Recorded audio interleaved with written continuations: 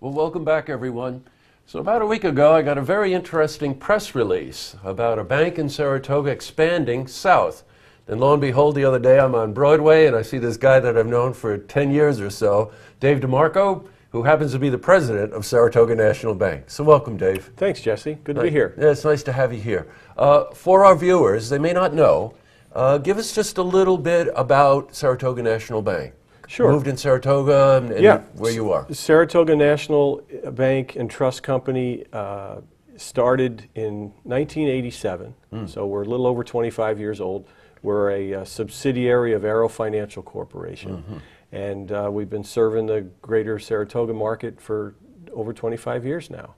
I got you. Now, in terms of Arrow Financial, Saratoga National Bank gets awards like five star ratings. What does a five star rating mean? There's an outside rating agency, the Bauer Agency, that rates banks all over the country based on their capital levels, their liquidity, and their profitability. And they, they have a five star rating, five being the highest, and we've been a five star rated bank for the past 19 quarters. So we're, we're strong financially, which has enabled us to continue to grow. Sure. Now, uh, for our viewers, uh, Saratoga National Bank in Saratoga, obviously, but you've got branches over in Corinth and Wilton. Yeah, we, we well, I started uh, with the company in uh, July of 2012. We had uh, six branches at the time, and then a year ago, yesterday, April 1st, uh, 2013, we opened our seventh office in Clifton Park, southern Saratoga County. Well, then that leads me right into this press release. Uh, while everybody wants to expand north, you're expanding south. What's going on? Yeah, well, what we found, uh, again, the move into, we've been talking uh, strategically about moving into the southern end of the county. So we went to Clifton Park, and what we discovered there was it was kind of opened the door to the Capital District.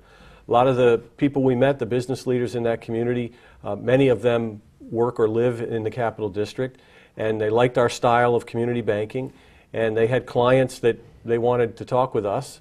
And we kind of quickly learned that, that we really needed to be further into the capital district to, to capitalize on that.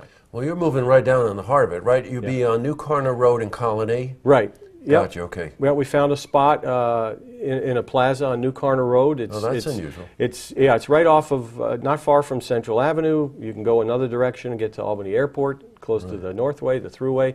So a Mm-hmm. lot going on down there, and and uh, we felt it was a good fit. Now, as the president of Saratoga National Bank, you've got a lot of responsibility, and I know you, so I know that you're involved in the community as well.